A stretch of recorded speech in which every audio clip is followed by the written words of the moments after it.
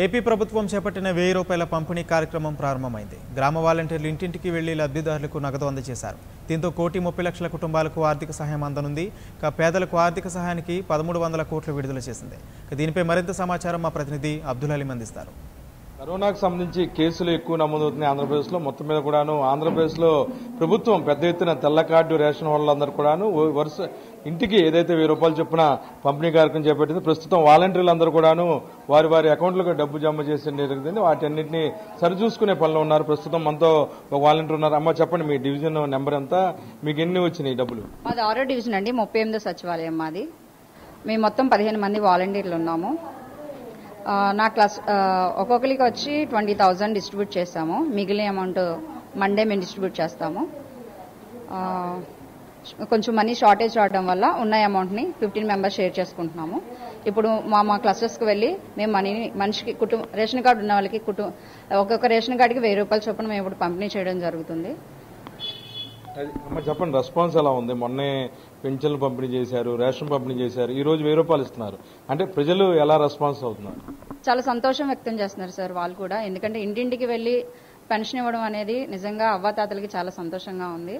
అలాగే మాకు సంతోషంగా ఉంది.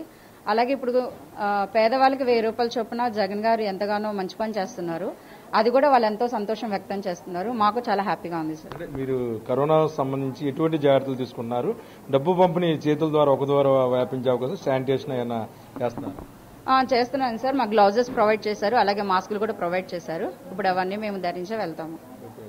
మొత్తం మీద కూడా పెద్ద ఎత్తున పంపిణీ కార్యక్రమం చేస్తున్నారని చెప్తున్నారు. మరి పక్కన మున్సిపల్ అడ్మినిస్ట్రేషన్ ఒక వ్యక్తి ఉన్నారు. ఆయన సార్ చెప్పండి ఎలా ఉంది డివిజన్లో పరిస్థితి? ఆ ప్రజలకి మొన్ననే రేషన్ పంపిణీ చేశారు తర్వాత వచ్చి నగదు పంపిణీ కూడా చేస్తున్నారు. అది ప్రజలు ఏమనుకుంటున్నారు? ప్రజలు చాలా బాగుందనుకుంటున్నారు సార్. పింఛను ప్రతి నెల ఒకటో తారీఖున వారి వారి ఇళ్ళకెళ్ళి మా వాలంటీర్లు చక్కగా సేవ చేస్తున్నారు. ఏంటి? సేవ సేవ చేస్తున్నారు. దానివల్ల ప్రతి వాళ్ళకి ఇంటి ఇంటికి వెళ్ళి వాళ్ళకి సంబంధించినటువంటి పింఛన్ అందచేయడం జరిగింది. మళ్ళీ అలాగే రాష్ట్ర ప్రభుత్వం ప్రవేశపెట్టినటువంటి కార్యక్రమంలో ఈరోజు మనకి నాలుగో తారీఖున అందరికీ తెల్ల రేషన్ కార్డు ఉన్న వాళ్ళందరికీ వెయ్యి రూపాయలు గవర్నమెంట్ వారికి ప్రపోజ్ చేసింది.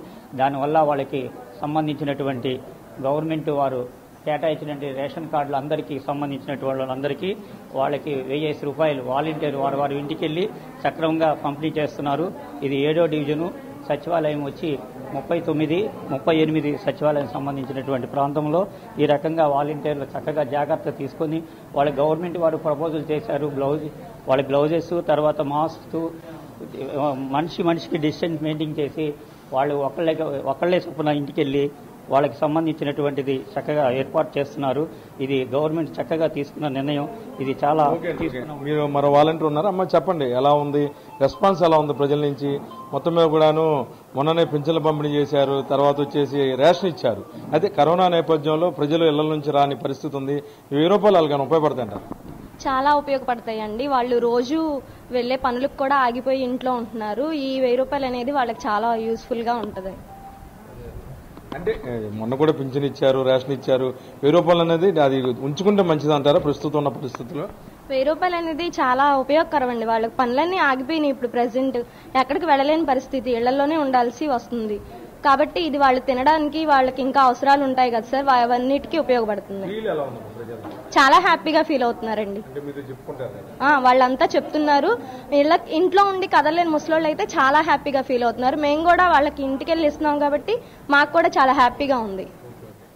ఇది పరిస్థితి మొత్తం మీద కూడాను గ్రామ సచివాలయంలో ఎవరైతే ఉన్నారో వాళ్ళందరూ కూడాను పెద్ద ఎత్తున ఏదైతే వెయ్యి రూపాయల పంపిణీ కార్యక్రమం ఉందో చేపట్టడం జరిగింది. కొంతమందికి ఏదైతే డబ్బులు షార్టేజ్ వచ్చే వారి వారికి కూడా మొత్తం మీద కూడాను అమౌంట్లు పంపిణీ పెద్ద ఎత్తున చేస్తామని చెప్పి చెప్తున్నారు. మరి పక్కన ఎటువంటి ఇబ్బంది లేకుండా అయితే కరోనాకు సంబంధించిన కేసులు నమోదు కూడా విజయవాడలో ఎక్కువ ఉన్న నేపథ్యంలో ప్రతి వాలంటీర్ కూడా శానిటేషన్ అలా గ్లౌజ్ తర్వాత మాస్క్ ధరించి పంపిణీ కార్యక్రమం చేపడుతున్నారు. ప్రజలకు కూడాను